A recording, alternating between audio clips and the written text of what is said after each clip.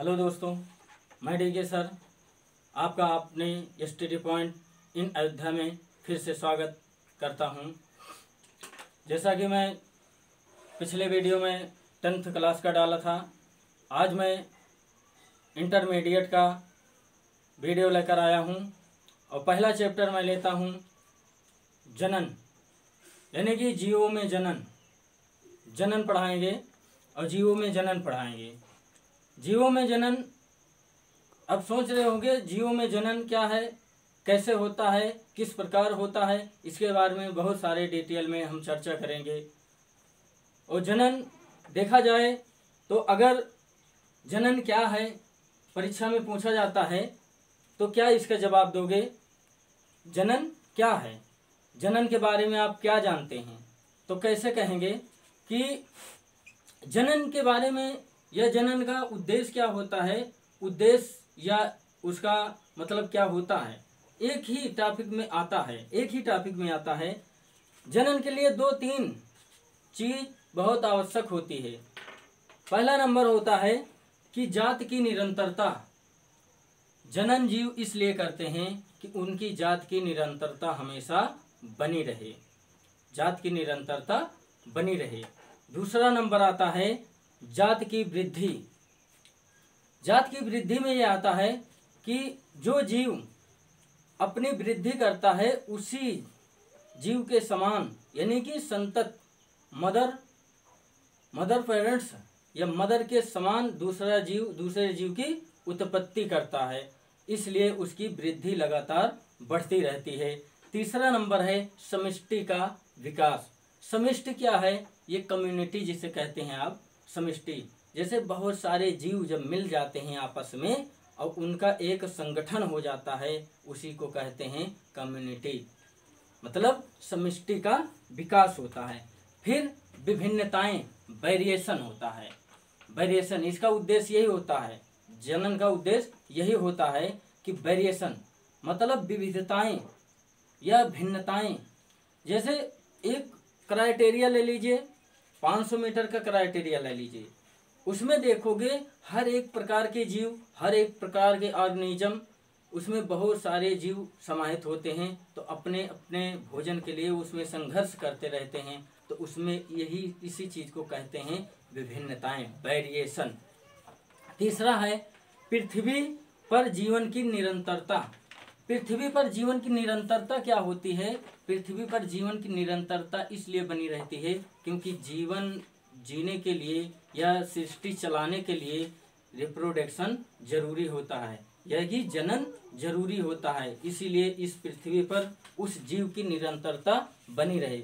नहीं तो अगर वो रिप्रोडक्शन बंद कर देगा, जनन बंद कर देगा तो उस उस जात की एकदम सृष्टि खत्म हो जाएगी। तो उस, वो जात एकदम संकट में खत्म हो जाएगी तो उसका कोई मतलब नहीं रह जाएगा। तीसरा नंबर है, और ऐसे बहुत सारे उसका उद्देश्य होता है।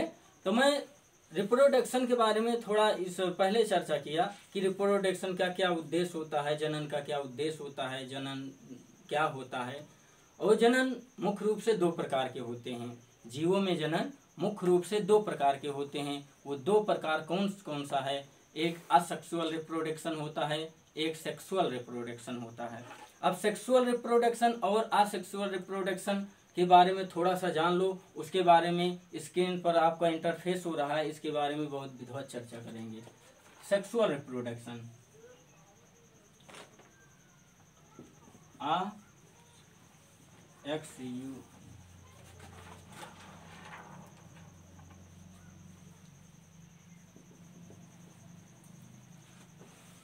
अलैंगिक जनन। रिक जनन। पहला हो गया, दूसरा हो गया sexual reproduction sexual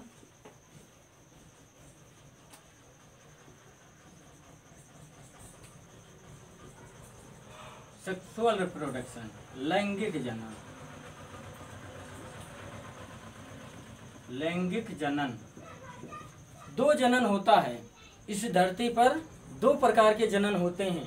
पहला नंबर है असेक्सुअल रिप्रोडक्शन दूसरा है सेक्सुअल रिप्रोडक्शन अब सेक्सुअल रिप्रोडक्शन सेक्सुअल रिप्रोडक्शन के बारे में मैं इधर चर्चा कर रहे हैं, जो कि आपके स्क्रीन पर इंटरफेयर हो रहा है।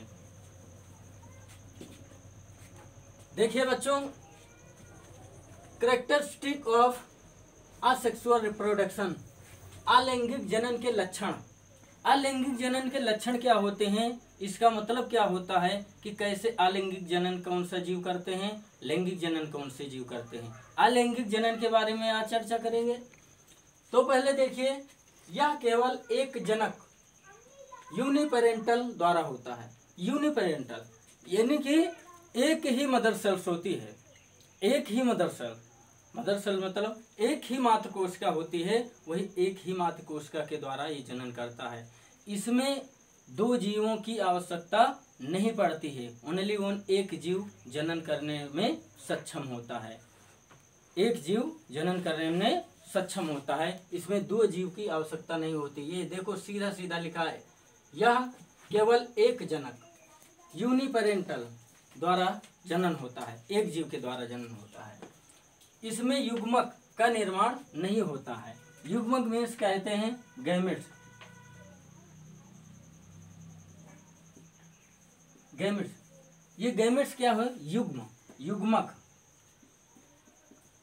युग्मक। युग्मक में ये सब सोच रहे होंगे, युग्मक सर क्या है? ग्यारहवीं क्लास में आप पढ़े होंगे, दसवीं क्लास में नाइन्थ क्लास में पढ़े होंगे तो आपको पता होगा, युग्मक होता है जोड़ा। युग्म मीन्स क्या होता है? जोड़ा होता है। तो इसमें जोड़ों का निर्माण नहीं होता। क्या कह रहा है? इसमें युग्मक का निर्माण नहीं होता है। इसमें जोड़ी का निर्माण नहीं होता है। इसीलिए ये एक मात कोशिका के द्वारा ये जनन कर लेता है। इसमें केवल सूत्री विभाजन द्वारा जनन होता है। केवल क्या कह रहा है? सूत्री विभाजन द्वारा जनन होता है। सूत्री विभाजन आपको पता है? किसी को पता है? नहीं पता है, मैं बता रहा हूँ। High school, inter, high school, inter first year और नाइन्थ में आपके सर पढ़ाए होंगे या जो कोई भी रहा होगा, पढ़ाया ज़रूर होगा कि ये सूत्री विभाजन क्या होता है। गुण सूत्र आप जानते हैं? गुणसूत्र गुणसूत्र जो होता है, इसी को कहते हैं ये सूत्री विभाजन। ये गुणसूत्रों का इसमें विभाजन होता है। एक मान लीजिए एक मदर सेल्स है, मैं समझा रहा हूँ गुणसूत्री विभाजन क्या होता है, सूत्री विभाजन। एक ये मान लीजिए पैरामीशियम हो गया, ठीक? अंडरस्टैंड ये पैरामीशियम होगा। इसमें एक गुणसूत्र पाया जा रहा है। केंद्रक एक पाए जा रहे हैं। ये सेंटर है। सेंटर इसमें केंद्रक है। ठीक है? ये केंद्रक क्या करता है? अब एक ही मदर सेल है। एक ही मदर सेल में कैसे इसका निर्माण करेगा? ये धीरे धीरे दूसरे में जाएगा। दूसरे, उसमें, दूसरे स्टेप में ए इसको बी बना दे रहे हैं। फिर ए ऐसे हो जाएगा ये केंद्र तीसरे स्टेप में मैं जा रहा हूँ तो ऐसे हो जाएगा ऐसे। चौथे स्टेप में जाएँगे तो ए ऐसे हो जाएगा ऐसे एकदम। तो ये जीव यहाँ से पाँचवें स्टेप में जाएँगे, ऐसे ऐसे ऐसे ऐसे। बस यहीं से दो जीव में विभाजित हो जाएगा। इसका जो गुणसूत्र है ना, आधा इधर आ जाएगा, आधा इधर आ जाएगा। हाफ़ हाफ़ में डिवाइड हो जाएगा, बस ये गुणसूत्री विभाजन होता है। इसमें गुणसूत्रों का विभाजन होता है। क्या कह रहा है? इस प्रकार के जनन में सॉरी इसमें केवल सूत्री विभाजन द्वारा जनन होता है। यानी कि गुणसूत्रों के द्वारा इसमें विभाजन। गर्मी बहुत हो रही है।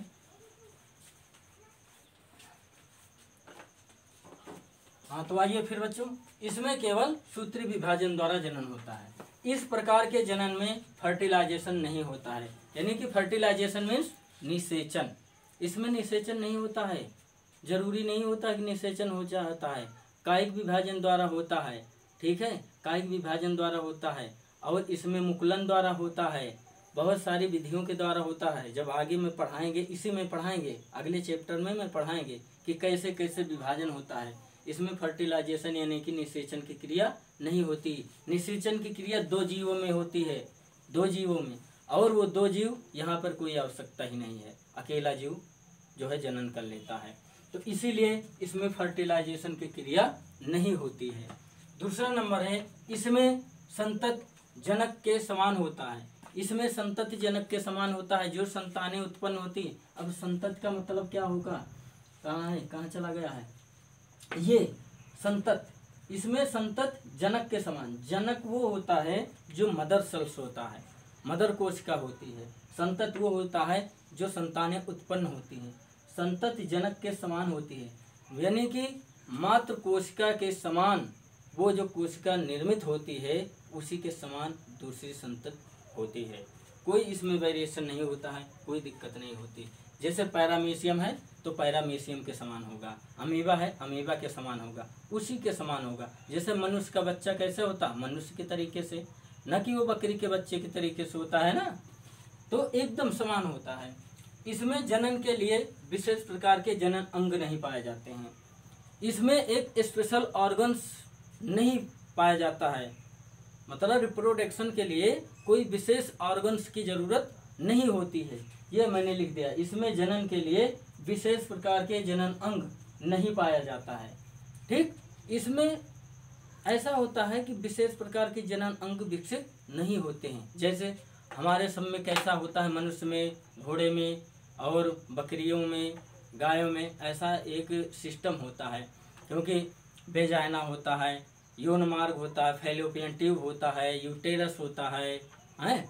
और बहुत सारे चीज़ें होता है कि उसमें विशेष अंग का विकास होता है जनन के लिए, पर इसमें जनन के लिए कोई विशेष अंग नहीं होता है। ये कायिक जनन द्वारा होता है, कायिक में से देह के द्वारा हो जाता है। आगे जब मैं पढ़ाएँगे तो अभी इसको जान लो कि इसका लक्षण क्या है। सिर्फ़ मैं लक्षण बता रहा हूँ बस।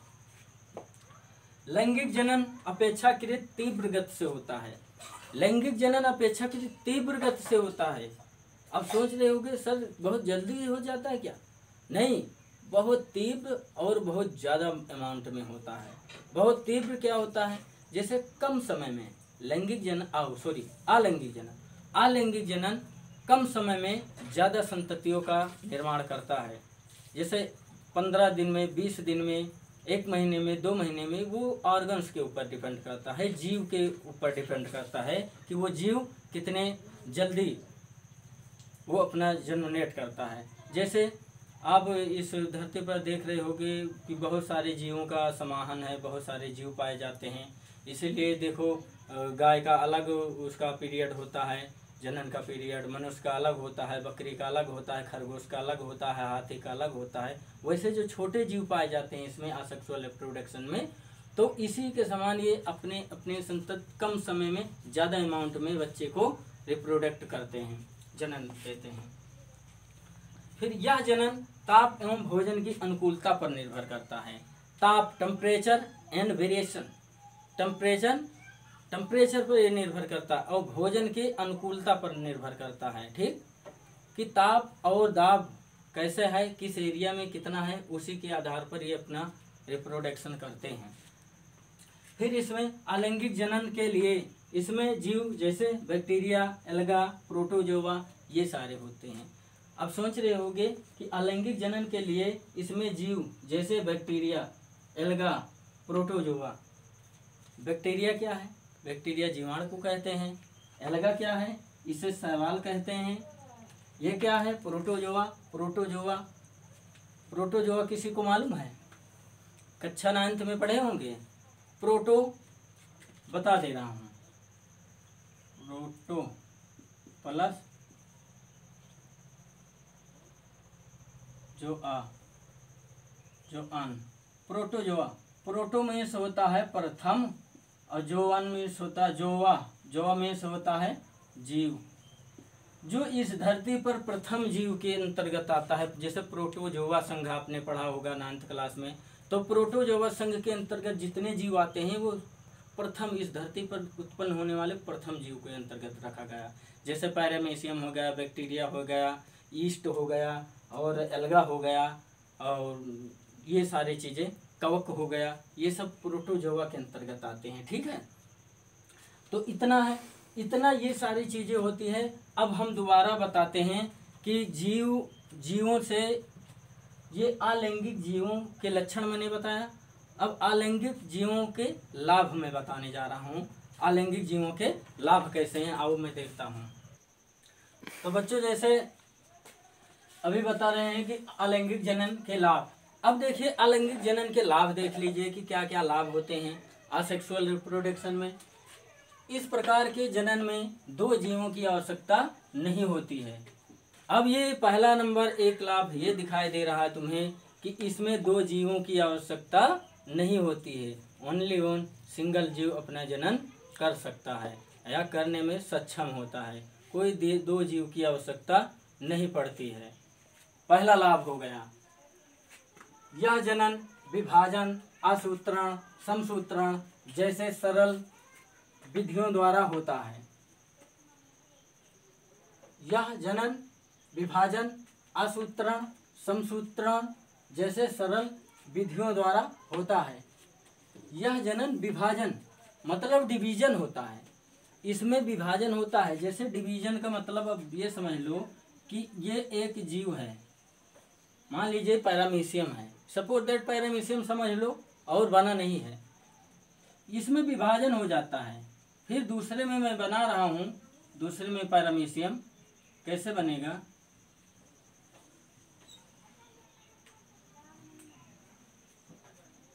ऐसे बनेगा। अगर तीसरी स्टेज में मैं आऊँगा तो ऐसे बन जाएगा, ऐसे बन जाएगा।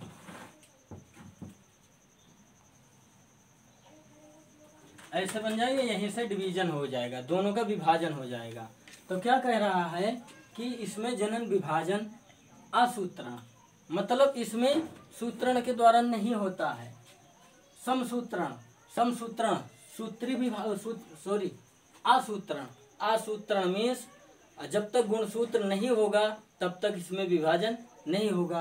असूत्रण मीन्स सूत्री विभाजन होता है। समसूत्रण समसूत्रण होता है। इसमें जो होते हैं, मात्र पेरेंट्स जो होते हैं, मात्र कोशिका होती है, वो दो भागों में विभाजित हो जाती है, बराबर भागों में विभाजित हो जाती है। ऐसे सरल विधियों द्वारा इसमें जनन होता है। ये दूसरा लाभ हो गया। तीसरा लाभ आप देखिए, इसमें गुणन तीव्र दर से होता है, क्योंकि इसमें युग्मक निर्माण, निषेचन भ्रूणीय विकास आदि क्रियाएँ नहीं होती हैं। अब इसमें एक चीज़ और देखिए, इसमें गुणन। गुणन क्या होता है? गुणा करना जानते हो ना? दो दूना चार दूना आठ दूना सोलह सोलह दूना बत्तीस, ऐसे ये गुणज होता है। तो इसमें गुणन क्या होता है? तीव्र दर से होता है। जैसे एक जीव है ना? एक जीव गुणन किया, दो जीव बन गया, दो जीव गुणन किया, चार जीव बन गया, ठीक है? ऐसे ऐसे गुणन करता रहता है, ऐसे ऐसे जीव बढ़ते रहते हैं। समझ गए ना? समझ गए ना? गुणन होता है। यानी कि दो दूना चार दूना आठ दूना सोलह ऐसे गुणज होता है, बहुत तीव्र दर से होता है, कम समय में बहुत ज़्यादा संततियों का निर्माण कर लेता है। ये लाभ होता है कि कम समय ज़्यादा संततियों का निर्माण करता है। फिर निषेचन भ्रूणीय विकास आदि क्रियाएँ द्वारा नहीं होता है। अब देखो, क्योंकि इसमें युग्मक निर्माण नहीं होता है। युग्मक का निर्माण नहीं होता, इसमें युग्म नहीं बनते हैं, जोड़े नहीं बनते हैं। पहले भी मैंने बता दिया, अभी मैंने उसका उद्देश्य जब बता रहा था ना, तभी मैंने बता दिया था कि इसमें युग्म नहीं बनते हैं, जोड़े नहीं बनते हैं, जोड़े की आवश्यकता नहीं होती है।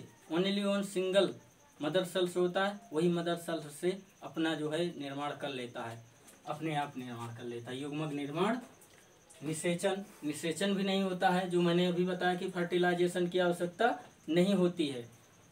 भ्रूणीय विकास मतलब क्या होता है? इम्ब्रियोनिक स्टेज इसमें नहीं बनता है। इम्ब्रियो जो होता है ना इम्ब्रियो सेक्ट जो होता है, वो उसका निर्माण कोई नहीं होता है। इसीलिए ये आदि क्रियाएँ इसमें नहीं होती हैं।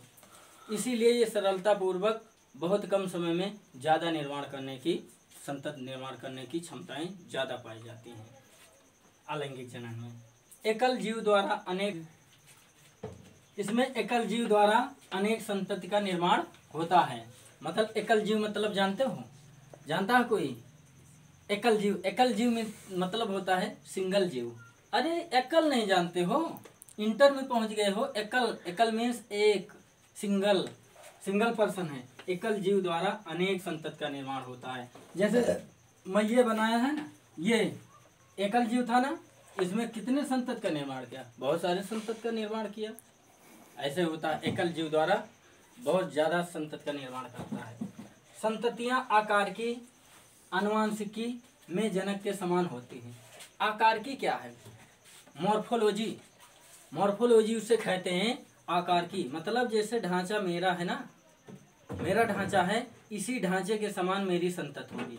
एक बकरी का बकरी का ढांचा है, बकरी के जैसे उसके बच्चे का वो निर्माण होगा। उसके मतलब सेम टू सेम हु बहु उसी के आकार का होगा।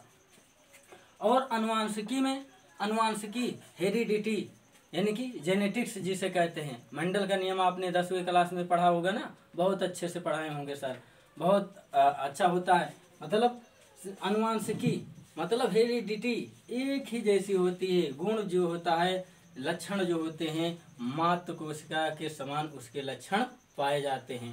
जैसे मदर सेल्फ से जो चीज़ें दिखाई देंगी, या आंतरिक इंटरनल और सरफेस दोनों वो चीज़ें लक्षण दिखाई देते हैं करेक्टर जिसे कहते हैं, लक्षण। संत हाँ इसमें लास्ट में देखिए, इसमें रोग जनक की संभावना नहीं होती है। इसमें रोग की कोई संभावना नहीं होती है। जैसे थोड़ी देर के लिए मैं एग्ज़ाम्पल के थ्रू में समझाने का प्रयास करेंगे। जैसे एक प्लांट ले लेते हैं एक प्लांट में ये ले लेते हैं, एक पुष्प एक पुष्प में ये इधर ले लेते हैं, इधर ले लेते हैं, इधर ले लेते हैं। ये मदर सेल्स है। फीमेल फीमेल ये मेल मेल अब देखो, इसमें अगर दो संततियाँ होंगी, ये मतलब डिज़ीज़ है, ये रोगी पौधा है। ये रोगी पौधा है, ये निरोगी है। निरोगी। निरोगी है, नी मतलब नहीं और रोगी मतलब रोग। रोग नहीं है। नहीं समझ लो रोगी ये भी है, रोगी ये भी है। ये ये हो जाएगा रोगी, ये हो जाएगा निरोगी। अब इसका स्पर्म आकर के यहाँ पर आ गया। इसका स्पर्म यहाँ पर आ गया तो क्या होगा? ये जो है रोगी हो जाएगा जनक। अगर ये रोगी है तो इस पर आ जाएगा तो एक दूसरे से रोगी हो जाएँगे। अगर दो संततियाँ हैं। और लेकिन मैं बात ये कर रहा हूँ कि इसमें रोग जनक की संभावना नहीं होती है, कोई संभावना नहीं होती। अगर ये रोगी होगा तो रोगी होंगे, नहीं तो कोई दूसरा जीव तो आ नहीं रहा है। अगर रोगी होगा तो जनन नहीं कर पाएगा। अगर जनन करेगा तो रोगी नहीं होगा। इसीलिए रोग जनक की संभावना इसमें बहुत कम रहती है। इतना आज का मेरा टॉपिक रहा, जो आज सेक्सुअल रिप्रोडक्शन का, इसके जो है करेक्टर क्या थे, लक्षण क्या थे, और इसके लाभ क्या थे। ये अगर मेरा वीडियो ये आपको अच्छा लगा हो तो इसको लाइक करिएगा शेयर करिएगा सब्सक्राइब करिएगा, और बेल आइकन ज़रूर दबाइएगा, क्योंकि जब मैं दूसरा वीडियो डालूं तो उसका नोटिफिकेशन आपको सबसे पहले प्रोवाइड हो सके। और इसी के साथ मैं, इसी के साथ मैं अगले इसी के साथ मैं अगले वीडियो में मिलेंगे। तब तक टेक केयर बाय